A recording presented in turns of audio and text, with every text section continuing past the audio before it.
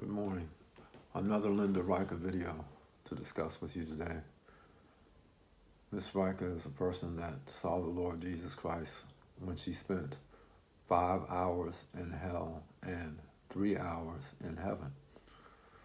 The Lord told Miss Rika's family, who saw her body lie on the ground for eight hours, that he got tired of watching the entire church go to hell.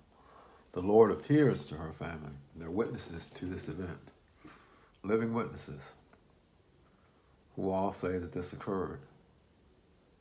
And Americans still reject the testimony of a woman who spends five hours in hell, three hours in heaven, to tell you that very few people go to heaven. She sees her mother, her grandmother, her father, Whitney Houston, Michael Jackson, Pope John Paul II, all the famous TV preachers, all in hell. All in hell. And more than likely, she sees your local preacher as well because there are many reasons, but one reason was because your soul is already in heaven or hell, on its way to heaven, or it's already in hell. It's dynamic testimony about this God. He's opened up heaven and hell for all of us to take a look at. And unfortunately, all these Christian loving Americans reject the testimony. My job today is to tell you that we're leaving soon. That's one of the things that he told me to tell you. But he says, Yes, sir, they are laughing at Linda Rika's testimony. They're laughing at it. He's, the Lord says to tell you that you can follow the testimony or you can go and, and follow the testimony, excuse me, and go to heaven, or you cannot follow it and go to hell. You can laugh at it and go to hell. Many are laughing at the testimony. He wants you to know he sees everything. He said to tell you that Israel uh, shall be reigning.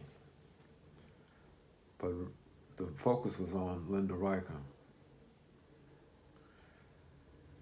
He wants you to go back and look at a story told by a little boy who spends 90 days in heaven, I believe. I haven't seen the book since probably 2000 or so. It's been a long time since I read that book or looked at the book.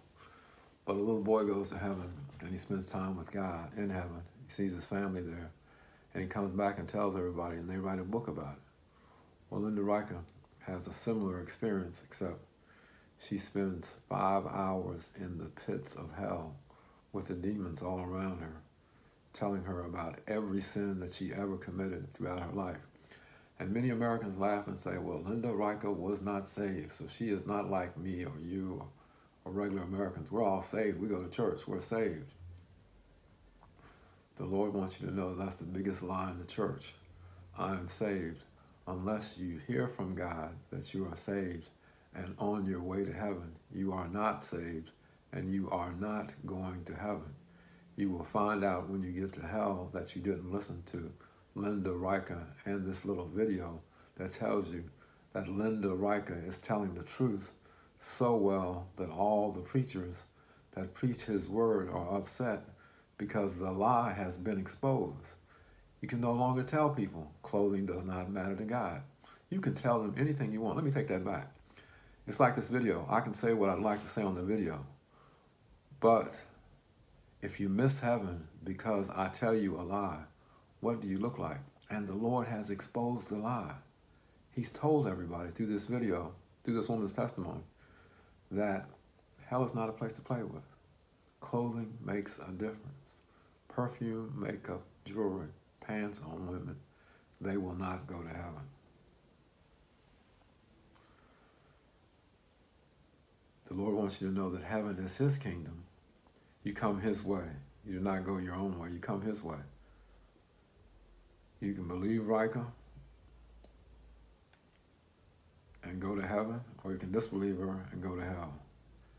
You have no choice. And as I say over and over again, unfortunately, most, most Americans reject the testimony. And you will live or you will die in hell. You will live and go to heaven or you will die in hell. Hell was terrible testimony. The testimony scared me so bad that I preach daily as much as I can. I try to preach in a town called Mobile, Alabama. They gave up what they had to follow him. They preach for money. I don't preach for money. I don't care about your money. I care about whether or not you go to heaven. The Lord, picked Linda and Paul Rika. Who are we to tell them who to pick? There are people out there that are saying, Linda Rika is not this and Paul Rika is not this, but they're all saying things to make sure that you go to hell. They're working with the devil. You either work for God or you work for the devil. There's no in between. That's what he wants us to know. The Bible speaks for itself. The preacher lies to you for money, for fame. He gets all the glory. He sits up front in the church. He feels wonderful about himself. Everybody's sometimes they're bowing down to him. Everybody's so happy that they know John, John, Jane, or whoever the preacher may be. He's so happy because he's the most wonderful person you've ever met. He or she is the most wonderful person you ever met. But the Lord knows everybody. And we either follow the Bible, Holy Bible, King James Version, 1611, word for word only, just his word only, nothing else, period. If we can't follow it that way, we're not going to heaven. If the preacher does not read the Bible to you that way, he's not going to heaven and he's not preaching to you correctly. None of that fame or fortune that the preacher receives will get you into heaven. So the preacher looks wonderful. He's up there, he or she is up there standing in front of you, giving this, you this glorious speech about heaven and hell, what he considers it to be like if you missed it. Because they're not going to spend a lot of time talking about it, because it gets people to the point where they will not come back to the church. If someone told you they saw a five year old child in hell, you would not go back to that person's church. Linda Rika comes back and tells you about children in hell. They saw everybody down there. She sees her mother, her grandmother, her father. That's enough for me to, for me to believe that not only did she see hell, but hell is the worst thing that can happen to any of us. We go to sleep, we lie down at night, we think we're going to heaven, we say a little prayer. And we think we're worried, we're not worried about whether or not we go to heaven when we go to sleep. Then we find out when we wake up in hell that we were wrong. It's too late then. It's too late, baby, it's too late. It's just too late, period. No one wants to go to hell. You go there because you're listening to false prophets. The Bible warns throughout, especially in Matthew.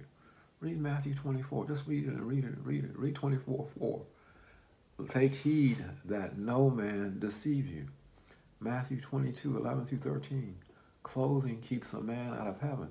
It says nothing about sin. Right after 11 through 13, verse 14 says, For many are called, but few. Few means few are chosen. Everybody's trying to go to heaven. Well, I can't say that everybody's trying to go because that's why some of us go to church because we want to go to heaven. We go to church because we're trying to go to heaven. We're doing everything that we can to go to heaven. And then we find out we went to hell. We're going to hell. Now is the time, ladies and gentlemen. Can't wait. You can't put it off. Tomorrow he might be here. The next day he might be here. Tonight he might be here. Within the next few minutes he might be here. This Lord is coming back. And we have to be ready for him. And the only way to be ready for him is to take time to prepare for him. And I tell you to take time to pray and ask a living God, Lord, am I eligible for heaven? One night I prayed five hours. I practiced. Five minutes, 20 minutes, an hour. I practiced. I built up to two hours. I built up to three or four hours. I built up to five hours. And then one day I said, I need to keep going. And I kept praying. And I did not know that I prayed for 10 hours. I thought I prayed for longer than that, to be honest with you. But the Lord says, Ricky, you prayed five hours one night, 10 hours the next night. I reached out and grabbed his feet during the middle of the 10 hours. Sometime during the 10 hour prayer. I can't say it was the middle of whatever it may have been. I kept praying because I did not want to miss the Lord Jesus the Christ. I want him to know that whatever it takes for me to get to heaven, That is what I need to do. I need to take this big nose, stick it in the ground, go around the earth 20 times, 100 times. Whatever I have to do to get to heaven, I have to do it. I use for my personal experience, a pillow, to sort of simulate what Linda Rika went through. I stuff my head into it and realize, and it's dark and you can't breathe.